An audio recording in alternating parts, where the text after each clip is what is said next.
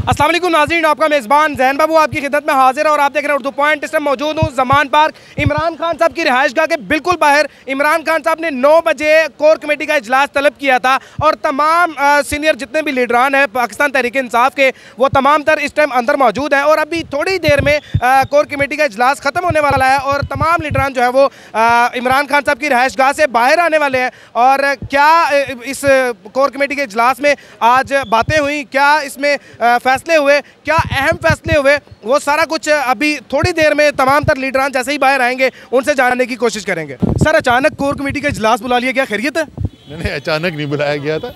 कल फैसला हुआ था कि कोर कमेटी का इजलास बुलाया है। अच्छा। और ज़ाहिर है जो इस वक्त सुप्रीम कोर्ट में केस चल रहा है उसके ऊपर बातचीत हुई। जो तहरीक इंसाफ के वर्कर्स की इस वक्त जो गिरफ्तारियाँ अगवा उनको किया जा रहा है उनके ऊपर जो गैर कानूनी काम किया जा रहा है उसके ऊपर बातचीत की गई।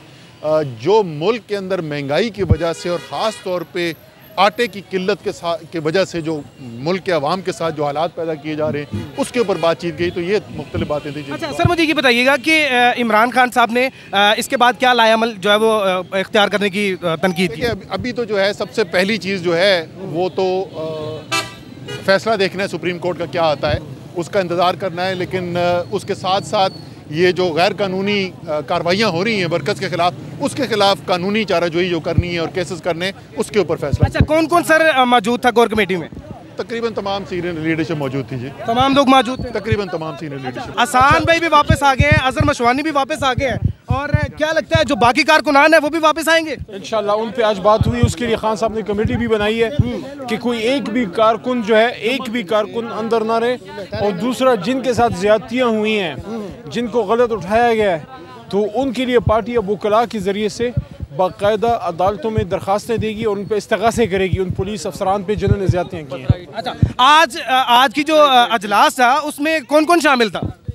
सारे ही थे। पहला एजेंडे पे ये पॉइंट था कि हमारे मुल्क को कॉन्स्टिट्यूशन से हटाया जा रहा है और पार्लियामेंट में कुछ ऐसी कानून साजी की गई है कि जो मुतसादम है जो एक ढांचा है हमारे आइन का उससे मुतसादम है।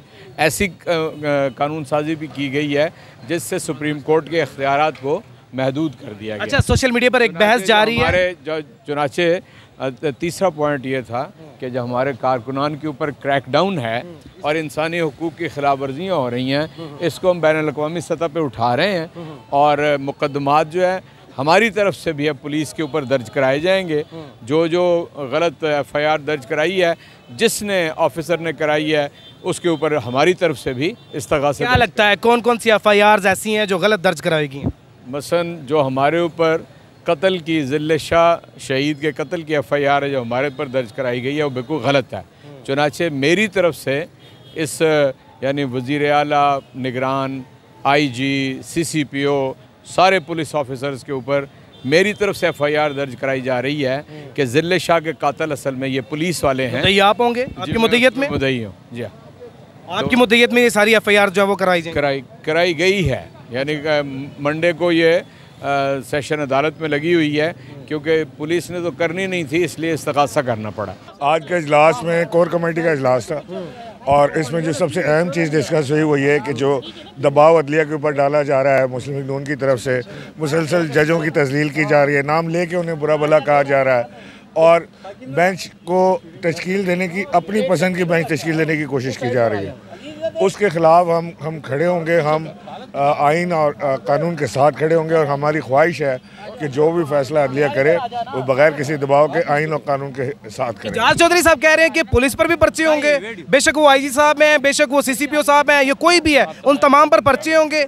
जो जुल्म हुआ है पाकिस्तान तहरीक इंसाफ के वर्कर्स के साथ और ये जो पंजाब पुलिस ने किया है जो इस्लामाबाद की पुलिस ने किया है तो पर्चे तो होंगे। क्या ये खान साहब ने कहा है कि अपनी मुदैयत में पर्चे करवाए जाए?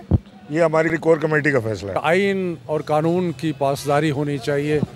और हम जो है वो कानून के अमलदारी और रूल ऑफ़ लॉ के साथ खड़े अच्छा पुलिस पर भी एफआईआर दर्ज करवाई जाएँगी ऐसा कहना है एजाज अहमद चौधरी साहब का। जो भी जाती करेगा उसके खिलाफ एफआईआर कराई जाएगी। आज डिस्कशन हुई है जो अपना सारा सुप्रीम कोर्ट का जो सारा सिलसिला है उसके ऊपर। और बड़ी अच्छी बात है हम चाहते हैं कि आइन की पासदारी हो और आइन के मुताबिक नब्बे दिन के अंदर अंदर इलेक्शन होनी चाहिए। इलेक्शन पे और जो कारकुनान है जो इलेक्शन पे और जो उम्मीदवार हैं उन पर भी कोई बातचीत हुई है? जी जी जो हमारे कारकुन खुदा न खास्ता जिनको उठाया गया है उनके बारे में जो रद्द अमल हुआ है और उसके बाद जो हम स्टेप्स ले रहे हैं वो सारों की बर्बाद।